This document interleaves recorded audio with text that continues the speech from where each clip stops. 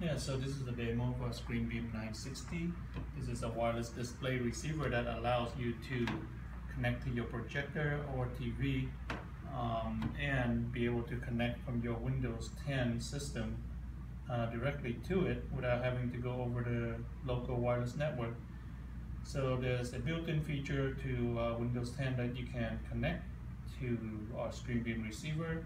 Um, on the Action Center. You can find that receiver is on the list.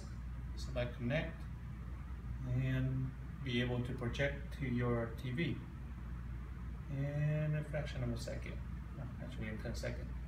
And what else you're able to do with it is once you connect, you not only project, but with a touchscreen or interactive touchscreen, you can also untether yourself from the touchscreen by plugging the USB cable to our ScreenBeam receiver.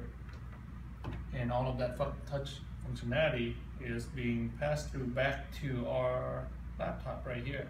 Um, there's actually a little check box that you have to check, say allow mouse, keyboard, and touch and pen input from this device.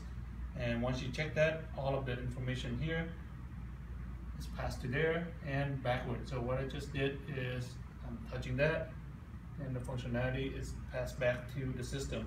So what I can do with it is I can launch a program like Paint and be able to draw on here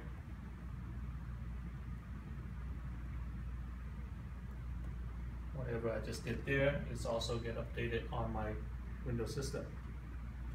Okay, can you see that? Hello. Yes, hello. Alright, so that was a demo of a touch and ink back feature and it is only available on the ScreenBeam 960.